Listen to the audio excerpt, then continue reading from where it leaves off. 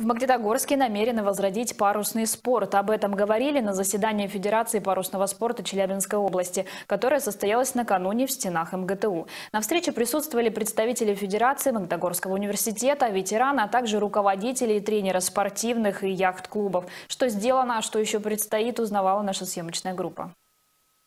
О традициях и развитии парусного спорта в городе говорили участники заседания. Он зародился в Магнитогорске более полувека назад. Свою популярность парусный спорт обрел благодаря стараниям ученого МГТУ Николая Ивановича Иванова, человека, который в свое время активно развивал спортивную деятельность института и города. Тогда Магнитогорский яхт-клуб был одним из лучших в СССР. Сегодня в Магнитогорске традиции парусного спорта хотят возродить, чтобы стальное сердце России вновь стало одним из центров этого красивого вида спорта спорта.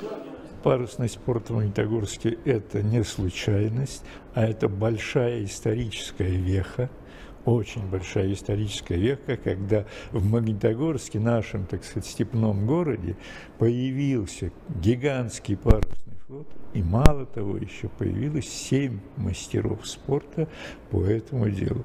Это было колоссальным прорывом.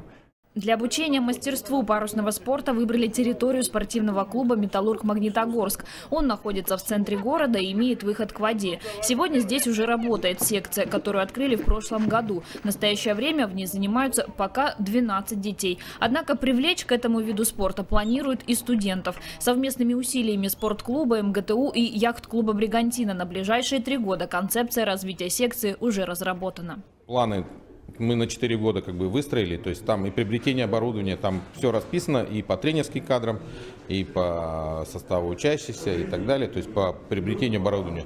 То есть эта концепция развития позволяет о том, что мы планомерно идем, как бы у нас есть понимание, что каждый год что-то надо делать. Огромную поддержку в развитии спорта оказывает металлургический комбинат. За счет его средств в прошлом году приобрели несколько швертботов и катер. Покупка ряда судов запланирована и на этот год. Павел Владимирович, генеральный директор, как бы ставит задачи движения на воде. И это вот мы в прошлом году открыли вейкбординг, тоже новый как бы, вид развлечений у нас на реке Урал. Вот парусная секция, то есть еще ставятся задачи а, по развитию а, именно услуг на воде. И мы сейчас как бы такую концепцию тоже разработали, буквально на днях представляем генеральному директору. Есть очень большое внимание со стороны руководства ММК на экологию, да, и как бы мы видим там отсекли сбросы там и так далее. И, соответственно, Павел Владимирович как бы ставит такую задачу, чтобы движение на реке как можно больше было, то есть оживить реку Урал. И мы как бы в этом направлении двигаемся.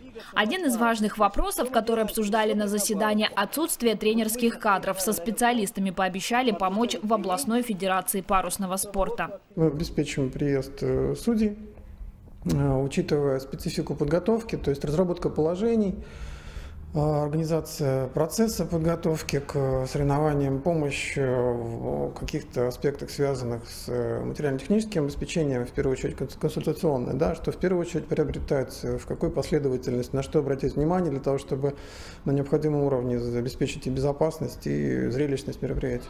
Планы у неравнодушных парусному спорту большие. Благодаря их реализации, возможно, когда-нибудь магнитогорские спортсмены взойдут на олимпийский пьедестал. А пока у горожан будет возможность возможность увидеть всю красоту парусного спорта. На лето разработан календарь соревнований. Открытие сезона запланировано на 4-6 июня.